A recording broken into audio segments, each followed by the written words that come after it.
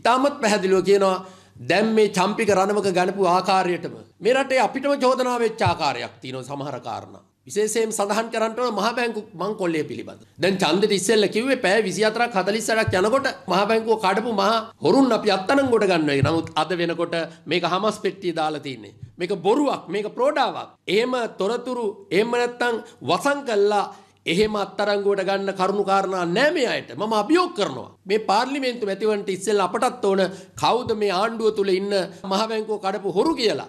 මේ බැඳුම් කර වංචාවේ අලගිය මුලගිය තැන් සියල්ල කෝප් කමිටුවේ වාර්තා දෙකකිනුත් ජනාධිපති කොමිෂන් සභාවේ වාර්තාවකිනුත් ඒ වගේම දැන් පාර්ලිමේන්තුවේ තිබෙන ව්‍යවහාරික විගණන වාර්තාවනුත් ඉදිරිපත් වෙලා තිබෙනවා. අර්ජුන මහේන්ද්‍රන්, අර්ජුන ඇලෝසියස්, හිටපු අගමැති රනිල් වික්‍රමසිංහ, රවි කරුණානායක ඇතුළු මේ කණ්ඩායමම බැඳුම් කර වංචාවට සම්බන්ධයි කියන එක තමයි මේ සියලු වාර්තාවලින් එළිදරව් වෙන්නේ. අපි බලාපොරොත්තු වෙනවා අඩුතරමේ බැදුම් කර වංචාවට අවුරුදු පහ පිරෙන දවසට මේ සියලු චූදිතයන් හිරගෙට යවන්නට වර්තමාන ආණ්ඩුව කටයුතු කරයි කියලා.